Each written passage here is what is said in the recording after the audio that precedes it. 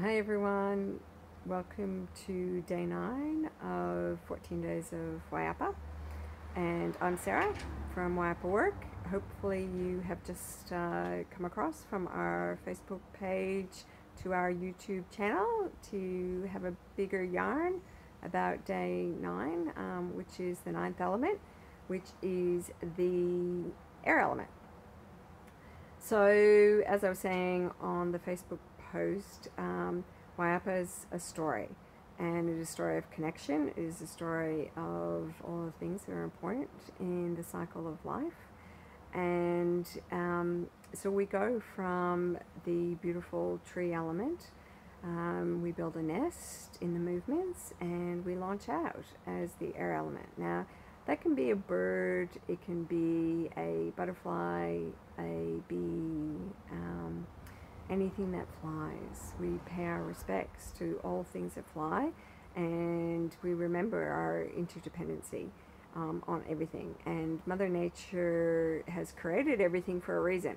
So we have to remember that at all times. And um, just as I was saying in the other post, um, you know, we're now knowing how important bees are as they die off, unfortunately, because of all the pesticides that we're using and so, you know, that's one thing that we can do um, in honoring the air element is think about all of the things that we can do to help um, take action in uh, preserving the air element um, from bees through to birds.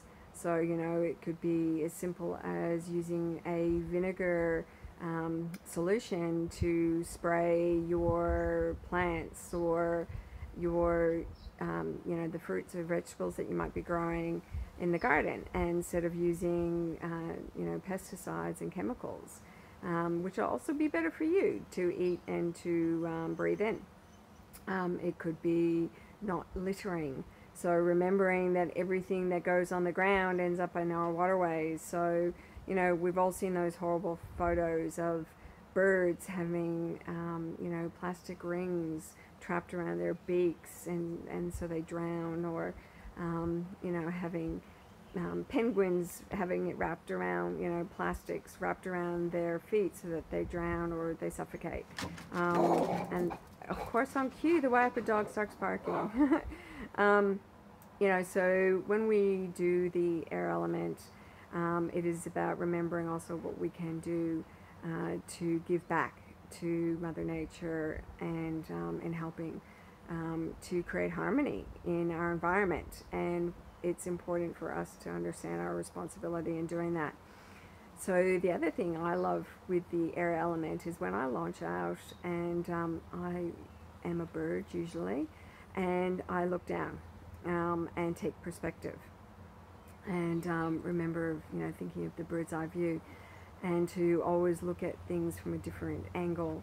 Um, not only for problem solving or looking at issues, but um, also remembering that there is, that everything passes, um, that everything is temporary, and um, that in flying over something we look down, and so I'm look sorry I'm looking down now doing the air element um, looking down on those those issues and um, and thinking, how can I look at this differently?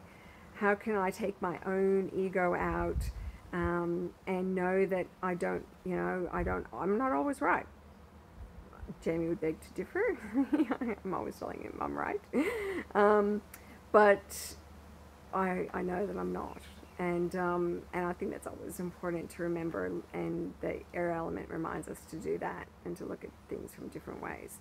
Um, you know, the air element for me is also really important because I consider the air element um, to birds to be my spiritual guides and um, my spiritual animal guides. And um, so whenever I'm looking for confirmation on something, um, I ask for a sign and a message, and you know, I always get it. I always get a feather that suddenly appears in front of me um, and tells me and confirms to me that, that things that I'm doing things right, um, or gives me a message, um, or you know, a bird will appear. Um, just at a time when I'm asking for you know communication um, from you know all the things that we don't see, and it's really important to remember that there is so much that we don't see. Um, that I think it's something like you know zero zero point eight um, of things that we see, or only things that we see. Does that make sense? Um, basically, I'm trying to say that there's lots of things that we can't see, lots of non-physical things that we can't see, and um, the air element reminds me of that, um, and that I do have um, that there's lots of things around me supporting me, um, but I might not necessarily be able to see them. So I thank the air element, particularly birds, for sending me their flowers as their flowers, their feathers as messages. Sorry, I'm having problems today speaking. Um, so tomorrow is day 10. Oh my goodness, we are really creeping towards that super moon at the end of the month, and um, I hope everybody is um, got awareness around that and isn't going to cray cray already in the lead up to it. So um, the ninth element, remember, is about um, taking perspective, um, being connected, and taking action to look after all the things that fly. So we will see you tomorrow. Jamie sends his love. Um, and um, hopefully I'm honoring his um, speaking abilities in these videos. And um, hopefully he will see you tomorrow. If not, it will be me again. So we'll see you then. Bye.